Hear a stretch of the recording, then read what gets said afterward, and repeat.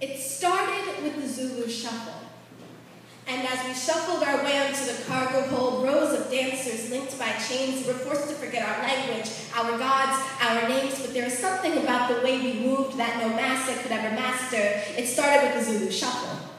In the 60s, we put our hands behind our backs, called it the chicken head. You called it the chicken dance, brought a little hand clap from the click-clack of conquistador claimed castanets and the hip swivel of every African mother you raped to get a mixed race baby born to be ignored, we shuffled our way out of your constrictions, sped up our sway called the uh-oh, the hand jive.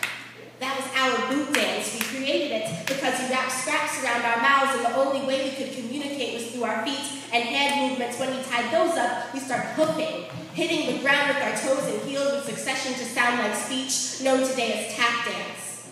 Harlem Shake.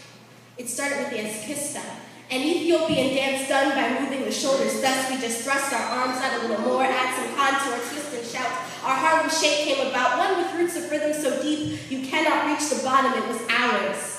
Now you taint it with your diseased hands, pretend you can take something else of African descent yourself its master.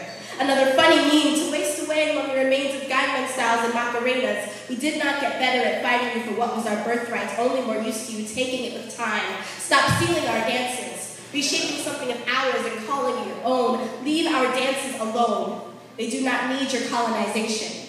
Like everything else you saved from savagery, it was doing just fine before we got here.